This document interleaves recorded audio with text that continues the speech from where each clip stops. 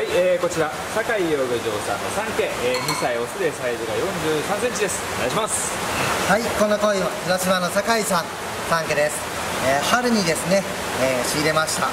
この鯉もですね非常に模様がよく楽しみな鯉ということで、えー、大事大事にひと夏飼ってきました。春の時点ではですねほとんど炭がなかったんですがだんだんだんだん炭が大きくなってきました。春の時点は本当にこれぐらいの炭だったんですけども後半の方からですねしっかりとしたものが出始めてきました。結構持っているものいいものでしょうであの出てますのでこの辺の少ないとこですねこことかここもここもあります。こういうのがですね今後大きくなっていくんじゃないでしょうか。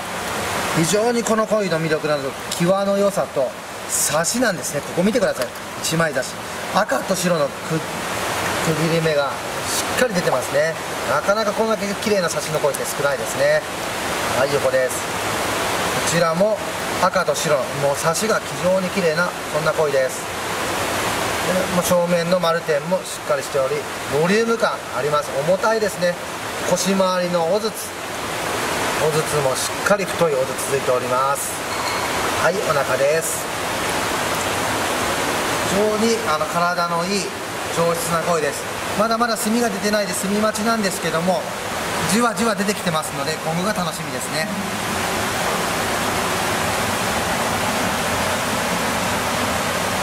はいいかがでしょうか、えー、こちら酒井養魚場さんの3家2歳オスでサイズ4 3センチです。はいぜひよろしくお願いいたします。